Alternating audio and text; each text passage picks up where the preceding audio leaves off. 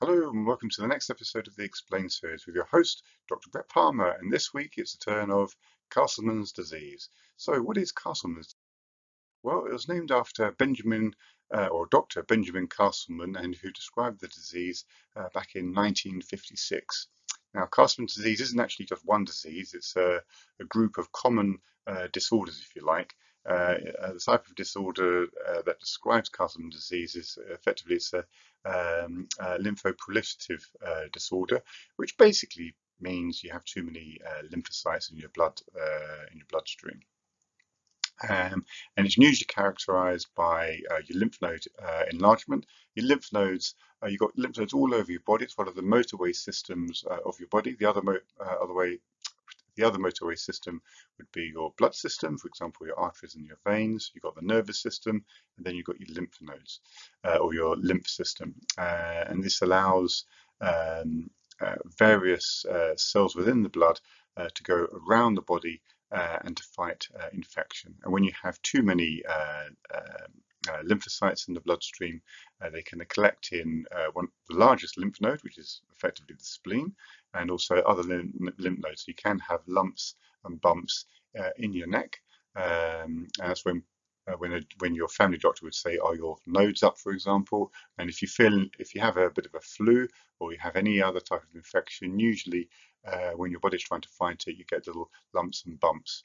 Um, uh, sometimes in the neck, which could be at the front of the neck, could be at the back of the neck, could be under your jaw, could be under your uh, armpits, uh, and also in your groin. But you have lymph nodes within the body uh, as well. Um, so it's a lymphoproliferative disorder, and uh, it is not a cancer though. But what can happen is if uh, Castleman's disease is left, it will more likely turn into some form of uh, lymphoma. In short, um, they typically occur into people that have a compromised uh, immune system. For example, people uh, who have HIV and are unable to um, mount a particular response. So, you, uh, uh, Castleman's disease is split up into uh, three different uh, distinct types. You have unicentric Castleman's disease, a human herpes 8 associated multicentric Castleman's disease, and this is the, uh, as far as I'm concerned as a HIV doctor, one of the main uh, types of um, Castleman's disease. and also idiopathic multicentric Castleman's disease. Now, the, the idiopathic type can occur in people with what it seems to be um, a functioning immune system. Uh, but uh, uh, obviously, for this to uh, take hold, uh, there must be some kind of problem um, uh, with the immune system anyway, even if it's base. but this discussion will con contain, will concentrate on the main one, which is human herpes 8 associated multicentric Castleman's disease. Okay. HHV8 is a herpes type virus, much the same way as um, uh, chickenpox, VZV, HSV, which is human simplex virus, Epstein-Barr virus, um, CMV, uh, which is cytomegalovirus, and HHV8 is human herpes 8, uh, uh, sorry, human herpes virus number 8, also known as Kaposi's uh, virus as well. And this virus can cause um, um, Castleman disease, and in particular, multicentric Castleman disease. And so how does it present? Well, it presents like uh, most cancers do, um, uh, even though it is not a cancer.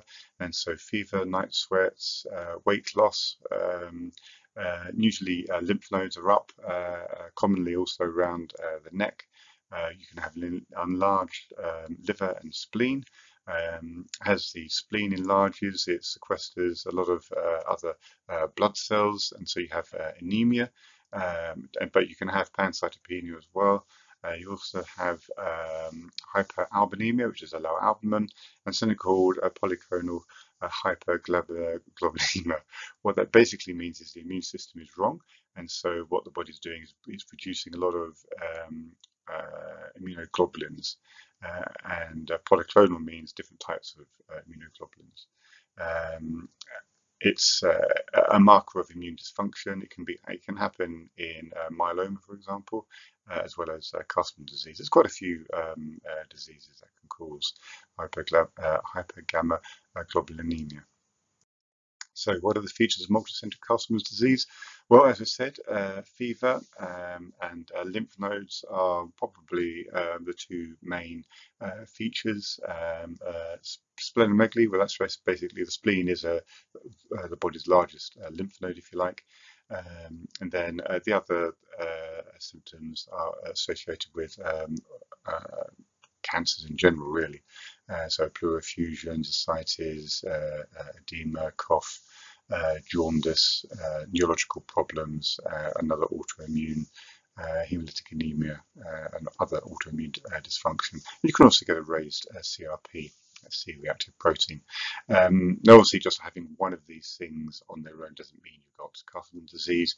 Uh, you need a few of these um, uh, symptoms with a fever um, and uh, ideally with a, raised uh, CRP. And so, uh, what are the, the tests uh, for Castleman's? Well, um, we'll come on to the tests in a moment um, because other common features that are not always seen uh, but can be seen in 40 to 50% of the, uh, the population that have Castleman's disease. And one is Castle um, Kaposi's sarcoma. We'll look at some pictures of that in a minute. Uh, hepatomegaly and also uh, uh, what's called pulmonary uh, involvement. So you have lung problems as well.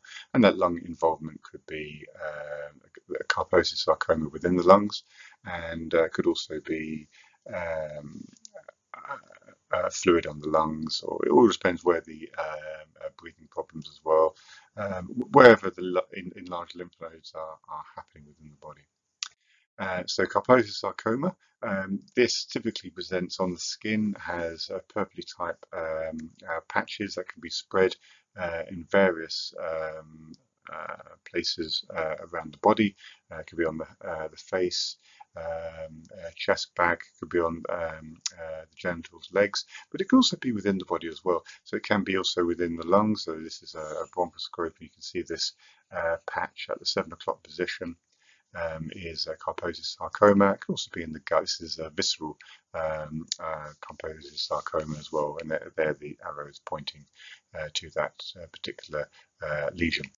Um, so uh, in terms of the, the test, and there's no excuse. If, if someone is suspecting Castleman's disease, you have to test for HHV8 because that is the uh, human herpes virus 8 that um, is considered to cause uh, multicentric Castleman's disease.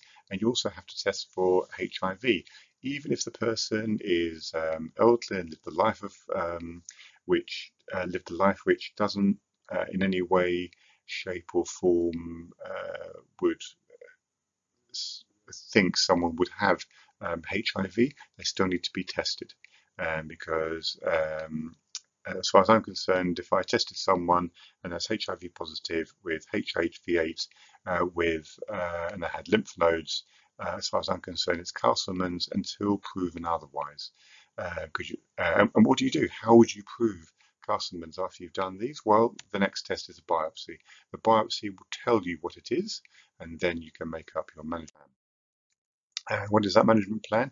Well, yeah, if the important reason why you do a HIV test is to be perfectly simple with you, if you don't do the HIV test and you diagnose it as Castleman disease and you treat it as Castleman disease, you're going to fail. It will not go anywhere until you've actually got the HIV under control. It's very important. So they need highly active antiretroviral therapy because uh, you won't go very far uh, without it. And so uh, you need to start that. Uh, and also uh, the Castleman disease uh, does need to be treated. And obviously, if they've got pancytopenia and they're struggling, uh, they may you may have to have a splenectomy. That basically means the spleen needs to be removed. There are lots of various other drugs here. the only drug I'm going to really point out to you is the last one, rituximab. that's a very good drug for fighting HHV8. Um, and obviously, the people who will be looking after Castleman's disease will be the hemonc guys, they're the hematology, uh, oncology uh, specialists that deal with uh, Castleman's disease. Now, uh, I'm, I'm, saying all these things about cancer, and then I said at the beginning, Castleman's disease is not a cancer. If Castleman's disease is left, it will probably go into some kind of lymphoma. Um, and that's why it's important to treat it and to treat it uh, as effectively as possible. And rituximab is a very common, uh, now a common drug to uh, treat it. as um, uh, uh, cleverer people than me uh, that figured out that using rituximab in Castleman's disease, I think it was at the Chelsea Westminster um, would basically said showed that this was an exceptionally effective treatment. and other centres have also shown this around the world as well. But if you test for HIV, if you're positive, highly active antiretroviral therapy. So what's the prognosis? Before rituximab came along, um, it was not good, uh, to be honest with you. Uh, patients would invariably uh, develop lymphoma and it would end up in, it would be a bad news story, unfortunately. However, with, with rituximab coming along, um, five-year survival has increased to uh, 60%, um, and that's, I think, old data. It's probably got a little bit further than that now, and so it's um, it's, it's, it's, not a, a bad story, um, and so it's uh, it, it's not all bad news. Uh, obviously, the sooner you treat it, uh, the better the prognosis, but that's with uh, most things in medicine. So it was a, a short uh, broadcast, uh, or sorry, podcast on, um, or uh, vodcast even, uh, on Castleman's disease. And uh, these are some of the websites uh, which I've uh, used to help this uh, put this episode together. I hope you found it uh, informative and see you next time. thank you very much. I hope you have good sexual health. Please like, subscribe, and share. Take care. Bye bye.